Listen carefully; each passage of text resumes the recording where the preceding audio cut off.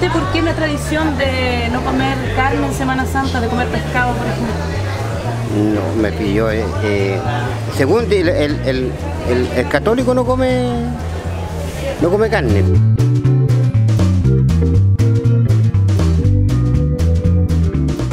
No sé. Yo como carne casi siempre.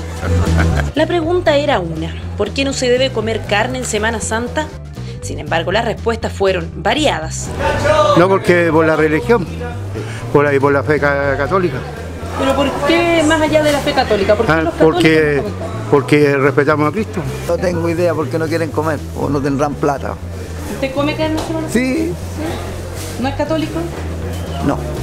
Ninguno de nuestros entrevistados supo responder correctamente. Sin embargo, claro está que esta costumbre del mundo católico sigue más presente que nunca en nuestra sociedad. La Semana Santa está prácticamente encima. Para muchos es un fin de semana largo digno de aprovechar, sin embargo para el mundo cristiano tiene relación con recogimiento, ritos, tradiciones. Una de ellas es reemplazar la carne por el pescado, así es como sube la demanda y suben también los precios. Pero ¿qué ocurrirá en nuestro principal centro de abastecimiento de la provincia? ¿Subirán los precios de los pescados y mariscos en la Felicur? Nos fuimos a dar una vuelta para conocer la respuesta en terreno. Los precios están normales, están hasta aquí, hasta el momento estamos normales porque no hemos tenido ningún problema en, en el asunto de pesca, así que mantenimos los precios, la pescadita a 1008, el congro 3000, la blusa austral 3000, 3000, la reneta 2500 en oferta, las tierritas 2000 pesos el kilo y los mariscos todos a 1500 en este momento. ¿Suben mucho las ventas en época de Sí, yo creo que sí, sube. ¿Cuánto? Por lógico, todo yo creo que ojalá que tengamos buen tiempo y podamos mantener los precios, esa es la idea de nosotros. Pero resulta que todo el tiempo hay un aumento de un 20%, pero no, no es tanto.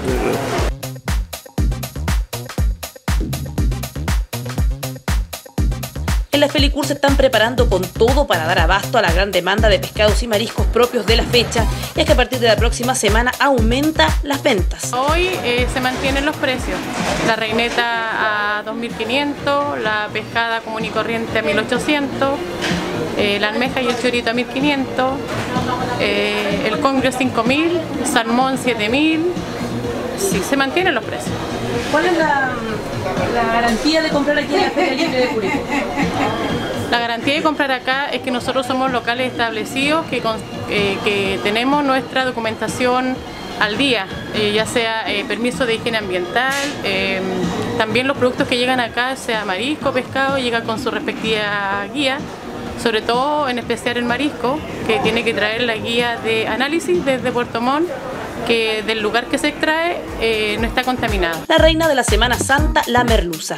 Sin embargo, hoy los clientes llevan de todo un poco. Bueno, siempre varía, pero en Curicó lo que más consume la gente es la pescada común y corriente que llega de acá de Duao, eh, de Constitución, de Peyúgue, también la reineta, que la gente la consume bastante, la merluza austral, que es de Puerto Montt, eh, la almeja, el chorito, la macha, el pibre, el ulte, el salmón, el congrio, eh, son los productos que la gente más solicita.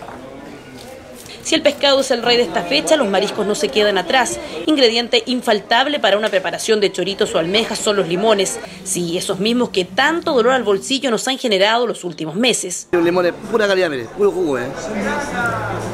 Calidad. El que quiere calidad, que pague un poquito más. ¿A cuánto tiene el kilo limón? 1008, 1800 pesos. 1008 el kilo. ¿Y cuántos limones salen más o menos en el kilo? 5 o 6 limones aproximadamente de esta calidad. ¿Va a subir para la Semana Santa? No, se mantiene.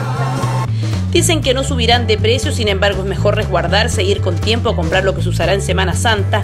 Ahora bien, también existen otras alternativas al pescado. Las verduras y legumbres han quedado por décadas relegadas al olvido a la hora de un menú de Semana Santa. Sin embargo, pueden convertirse en un apetitoso y económico plato para disfrutar en familia. Es cosa de poner una cuota de ingenio en la cocina. Su bolsillo se lo agradecerá.